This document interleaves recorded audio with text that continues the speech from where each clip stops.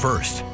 According to MidwestParkinson's.org, approximately 60,000 Americans are diagnosed with Parkinson's disease each year. KX News' Taylor Rosari spoke with a woman who lives with the disease and is helping others not let it put them on the sidelines. When I was first diagnosed, there wa- I had no idea where to go and what to do. Holly Jacobs of Minot calls herself a Parkinson's ambassador. She lives every day with the disease, but has also made it her mission to help others like her in the community. I wanted to create a support group uh, system for those that are still young, like myself, that can get out and still do stuff, but are still seeking uh, support. Which is where the Shaken Parkinson's Up support group comes in. It's a close knit group who spends time chatting or exercising together at the Minot Family YMCA. We'll do some fun things like today we'll play with uh, balloons and still work on balance and coordination with all that those activities. So those are the two main things we really focus on is balance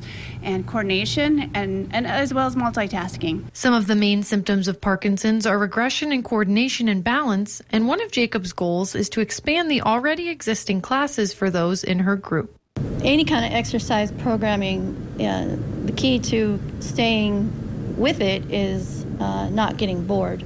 So, non contact boxing and the taekwondo, and I hope dancing somewhere along the line. Recently, Jacobs and colleagues raised $1,000 for the YMCA to purchase equipment for these classes, which program coordinator Tia Huber says will help to make everyone feel welcome. We really like to stop what could happen and help prevent uh, future injuries or anything like that. So that's kind of what we're we're all about is making sure that those people have something.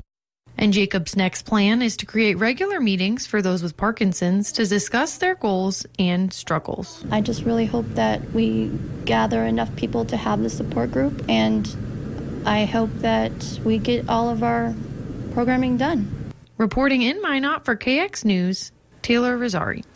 Jacobs hopes to hold the support group meetings starting in January. Stay tuned. Still to come.